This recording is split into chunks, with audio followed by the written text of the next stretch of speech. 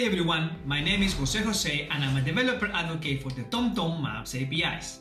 In this video, we'll go over the route parameters in our APIs to support trucks and commercial vehicles in general. We have talked before about creating simple routes, calculated the reachable range, and using the matrix routing to get summaries of itineraries.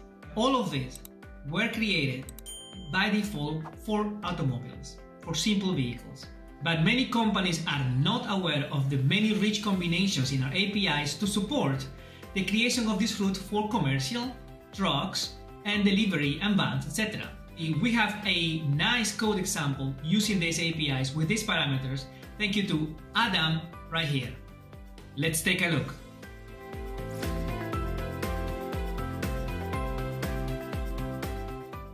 I'm going to show you how to create a simple routing app using React. In VS Code, I have an empty project folder. We'll start by opening the terminal and scaffolding our app with create react app. We can run that using yarn create. It will take about two minutes for all the dependencies for create react app to be downloaded and for the app to be scaffolded.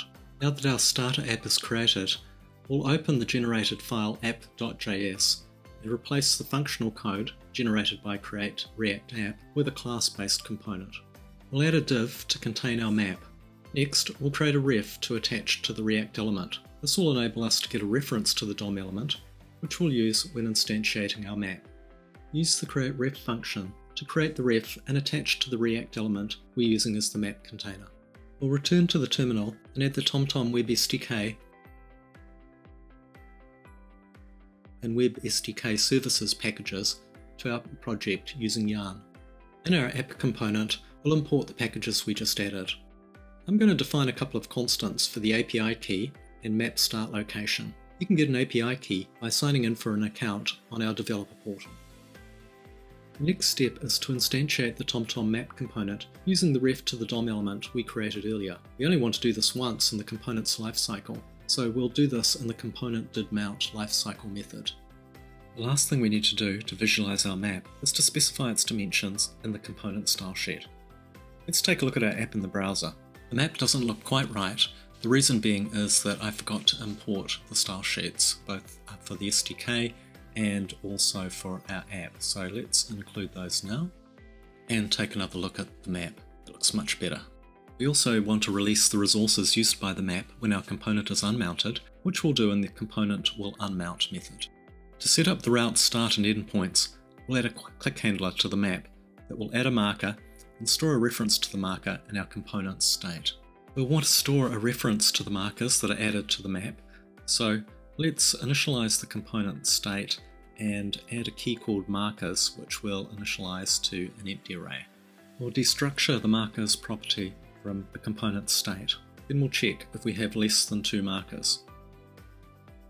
If we do, we'll create a new marker, set its location to the click coordinate, and add to the map.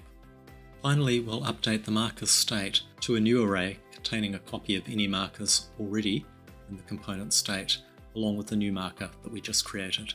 Lastly, we'll add our event handler as a listener on the map's click event and take another look in the browser.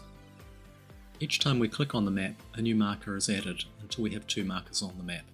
So we can calculate a route, we'll add a button to the interface and style it. Let's now write the function that will calculate the route. We'll be calling this function twice, once to calculate the route using the default options, and a second time using some of the available truck routing options.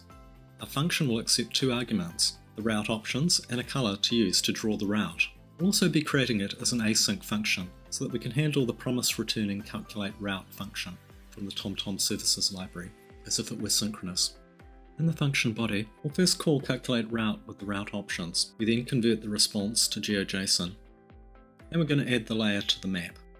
When we call add layer, we're going to use the color passed to the function as the layer ID. We're going to use the GeoJSON data that we got back from the calculate route function as the source of the data for the layer. And finally, we're going to define some paint properties. Firstly, using the color as the line color and setting a line width. Next, we'll write an event handler function which will check that we've added a start and end marker to the map, and if we have both, call the calculate route function we just wrote with their locations and the desired route options. First, we check if we have two markers. If we have less than two markers, we can't route. If we do, we proceed by getting a coordinate for each marker and adding that to a variable, locations. We then call the calculate route function we just wrote twice. The first time, we'll just be using the default options for the API and passing in the color green as the line color. The second time we call calculate route, we're going to be using a travel mode of truck, and here we use some of the specialized vehicle routing parameters provided by the TomTom routing API. Uh, the first is the load type, in this case we're using other hazmat explosive, and the second the vehicle weight, which is 8,000 kilograms. The TomTom routing API provides a number of other vehicle related parameters of interest to fleet operators. You can find these under the Common Routing Parameters section of the Routing API docs. We'll use red as the colour for the truck route. Let's call that route function from the click handler at the route button and try that out in the browser.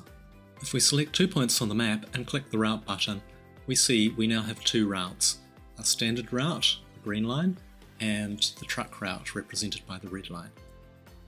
To finish our app off, let's add a clear button that when clicked will remove the route layers from the map, destroy the markers, and then set the marker state on the component to an empty array. For each layer we added to the map, we also added a data source.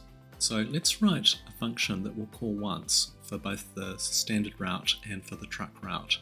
We'll call this remove route, and in it we'll first remove the layer with the ID passed to the function, and then we'll remove its data source. We'll then write our clear function. Firstly, we destructure the markers array from the application state, and then for each marker we call remove on the marker. This will remove it from the map. We'll then reset uh, the marker's application state. And finally, we'll call our remove route function once for each of the two layers that we added to the map. After adding our clear function as the click handler for the clear button, we can now go back to the browser and test our new clear function.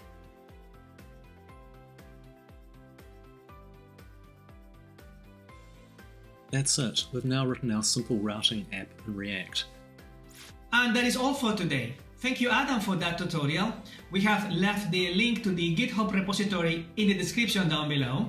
Let us know in the comments if you have questions or want more complex use cases. Don't forget to subscribe and as usual, thank you for watching and happy mapping!